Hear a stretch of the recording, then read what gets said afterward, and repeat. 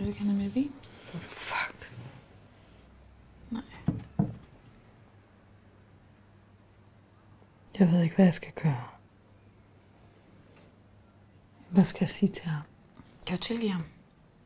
Det ved jeg ikke. Jeg elsker ham. Du kan jo ikke stole på manden. Hallo? Altså, han sagde det jo selv til mig. Ja. Yeah. Monika, jeg tror virkelig, virkelig, han fortryder. Han sagde, at han ikke ville sove mig, og at... Ej, jeg ved det ikke. Han har bare såret mig. Og Lis, altså... Hey. Du fortjener ikke det der. and better at the because maybe I'm not good enough. Maybe I'm one of those people who has always wanted to do it, but it's like a pipe dream for me. And you know, and you said it.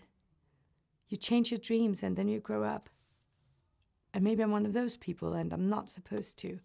And I can go back to school and I can find something else that I'm supposed to do because I left to do that. And it's been six years. And I don't want to do it anymore.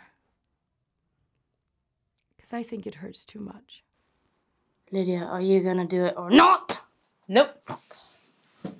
I'll clean your house. No. I'll mow your lawn. No. I'll cook for you. No. I'll buy you bunny rabbits. No. I'll give you a massage. No. Give your boyfriend a massage. No. Your dad? Romina. Your uncle. Uncle. What? What? What? What? Bob's your uncle. Why? What? I'll take the blame whenever you fart. No. I'll let you kiss my ex. No, thank you. Oh, really? Yes. He's a good kisser. Is he? Is he? Fine. I'll let you play with my bum. Ew.